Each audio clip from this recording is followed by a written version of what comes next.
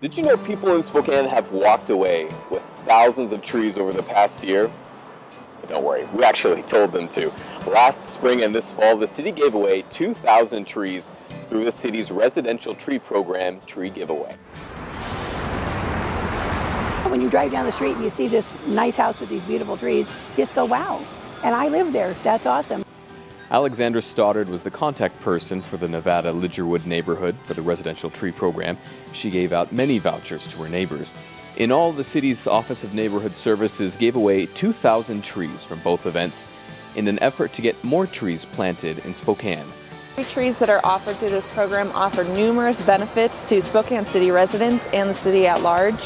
One, you have mitigation of gallons of stormwater per year, which ends up being a dollar amount and very substantial over the long haul. Uh, these small trees can start mitigating stormwater as soon as they are planted, but really the benefit comes with years of being in the ground and mitigating water every day of every year. The free trees didn't last long at either event, but if you missed the giveaways, the residential tree program returns next spring. If you care about your city, your family, um, your neighborhood in general, get involved in the program. Plant trees. It's, it's helping save our river from all the pollution. And, you know, it's just a good thing. Learn more by visiting SpokaneCity.org. Search for Residential Tree Program or Forest Spokane. While you're there, check out the Forest Spokane Tree Map.